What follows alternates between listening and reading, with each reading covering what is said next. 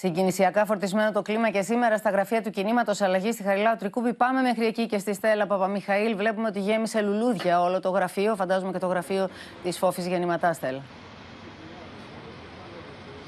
Έτσι είναι πλήθος κόσμου. Φόφη, σήμερα, ε, με συγχωρείτε, σήμερα όλη τη μέρα έρχεται εδώ στα γραφεία του κινήματος αλλαγής ε, και καταθέτει ένα λουλούδι εδώ στην είσοδο των ε, γραφείων. Έχει γεμίσει η είσοδος με μπουκέτα, με ανθοδέσμες, με λουλούδια δίπλα στη φωτογραφία της ε, Φόφη Γεννηματάς, στη φωτογραφία με το λαμπερό χαμόγελο.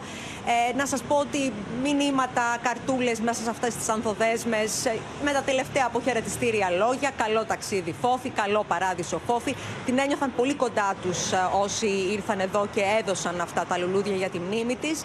Οι συνεργάτες της είναι πάνω στον έκτο όροφο, συντετριμένοι κι αυτοί από την ευνίδια αυτή εξέλιξη ε, με τη φόφη γεννηματά. Διευθετούν τις τελευταίες λεπτομέρειες για το αυριανό ή το χέρε, το τελευταίο αντίο στη φόφη γεννηματά.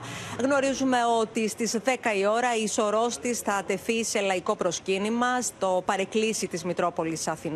Εκεί θα υπάρχουν και τέσσερις παραστάτες δίπλα στη Σωρό, οι οποίοι θα εναλλάσσονται και θα προέρχονται από στελέχη του κινήματος αλλαγής. Στις 2 η ώρα θα ακολουθήσει, η νεκρόσιμο ακολουθία, η εξόδιος ακολουθία στη Μητρόπολη Αθηνών. Εκεί, όπως μάθαμε, λόγω των περιοριστικών μέτρων του COVID, δεν θα μπορούν να παρίστανται περισσότερα από 100 άτομα μέσα στην Εκκλησία. Αυτό σημαίνει ότι η εκπροσώπηση θα είναι ως επιτοπλίστων θεσμική, δηλαδή με τους πολιτικούς αρχηγούς, την πρόεδρο της Δημοκρατίας και τα μέλη της οικογένειάς της. Ο κόσμος θα είναι γύρω στον άβλιο χώρο της ε, Μητρόπολης. Επίσης, επικίδιου λόγους θα εκφωνήσουν, όπως μάθαμε, η πρόεδρος της Βουλής, η κυρία Σακελαροπούλου, η πρόεδρος της Δημοκρατίας, με συγχωρείτε, η κυρία Σακελαροπούλου, ο πρόεδρος της Βουλής, ο Κώστας Τασούλα, ε, επίσης ο κύριος Χριστοδουλάκης, ο γραμματέας του κινήματος αλλαγής, αλλά και ένα μέλος από την οικογένεια της ε, Φόφης Γεννηματά, πιθανότατα θα είναι ο γιος της. Ε, από εκεί και πέρα ξέρουμε ότι η ταφή θα γίνει στο πρώτο νεκροταφείο